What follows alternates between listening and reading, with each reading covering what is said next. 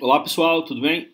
Jales da Ubiquiti, dando continuidade à sequência de tutoriais explicando como utilizar aí os novos recursos, a nova interface gráfica da linha UFiber, que foi implementado a partir da versão de firmware 4.0 em diante.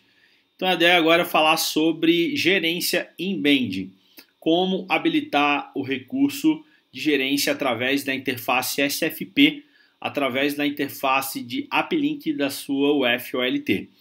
Então as, as VLANs já foram configuradas, né, conforme explicado aí no último vídeo.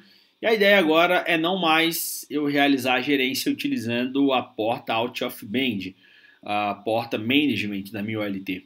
A ideia é através pelo próprio uplink, pela SFP aqui conectada no meu Edge Switch. Então agora nós vamos ter mais mais um equipamento aí na rede, né, que é o Edge Switch, e através dele eu vou ter um trunk, um trunk aí conectando o meu Edge Router, passando pelo meu Edge Switch, as informações tagueadas e chegando até na minha UF-OLT e eu vou realizar a configuração através da VLAN 40, que é a minha VLAN de gerência aqui no laboratório. Então vamos lá.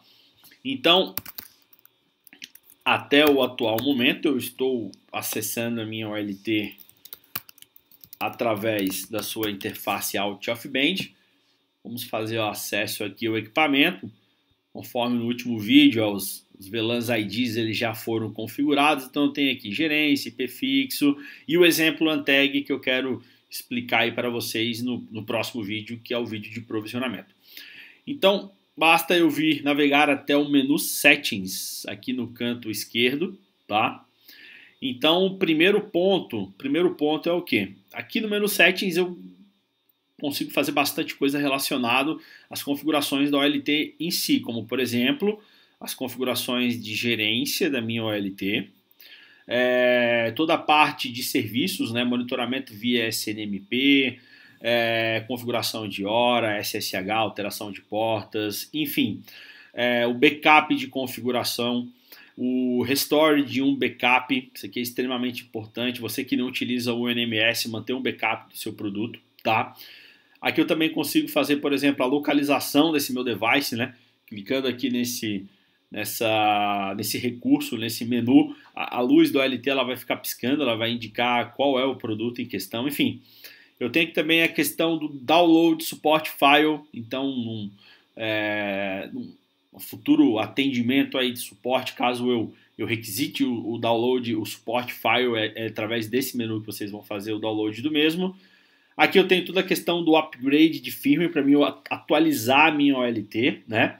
Então vamos fazer um exemplo aqui, clicando ele vai abrir o diretório aqui do meu, do meu computador, né? Vindo aqui em transferência, eu tenho, por exemplo, aqui uma imagem aqui do, do, da última versão de firmware. É, a imagem ela deve ser, o upload deve ser feito desse arquivo mesmo, ponto .tar, tá? Não tentem é, retirar, enfim, desempacotar o arquivo, não, é o ponto .tar mesmo que deve ser enviado, tá?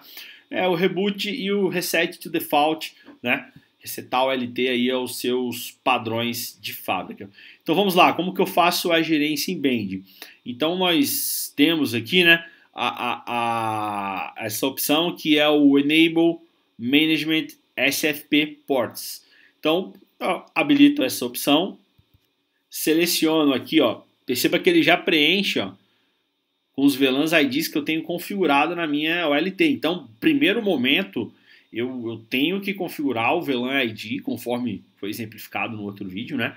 E, e, o próximo passo é eu determinar qual vai ser o, o VLAN ID que eu tenho, que eu vou utilizar para gerência em band. Lembrando que é estritamente importante é, você ter no core da sua rede configurado um roteamento intervelans, enfim, para você conseguir alcançar a sua OLT, tá?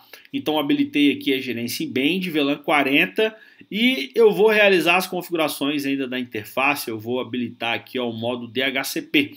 Então lá no meu no concentrador, né, eu tenho a minha VLAN 40, um servidor de HCP que eu utilizo aí para prover IPs para os meus dispositivos que eu quero gerenciar através dessa VLAN, tá? Então, feito isso, ó, habilitei a VLAN 40, mudei os status, eu poderia aqui colocar um IP fixo é, dentro do pool da tua VLAN de gerência, enfim, mas para poder exemplificar aqui, eu vou utilizar a opção como DHCP. Feito isso, basta eu clicar em Save. Cliquei em Save, a OLT ela vai aplicar as configurações, eu vou perder o acesso, né? Vou perder o acesso. Agora vamos acessar lá o nosso Edge Router. Então eu estou aqui conectado, né? Com o meu notebook. Deixa eu mostrar aqui para vocês. Então a minha interface Ethernet ela está na interface Manager do OLT. Mas agora eu vou realizar o acesso através da minha rede aqui do Lab através do IP que vai ser atribuído aí pelo meu Edge Router a minha OLT. Então vamos lá, vamos aqui em serviços, uh, vamos ver aqui o, os leases da nossa rede de gerência. Então aqui eu já tenho o IP que foi atribuído uh, à nossa OLT. Vamos lá, vamos acessar aqui a OLT através desse IP, que foi atribuído o quê? Que foi atribuído através da nossa rede de gerência, tá?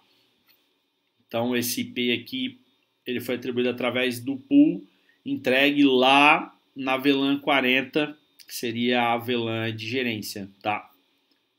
Acho que eu errei a senha aqui. Agora foi a senha correta.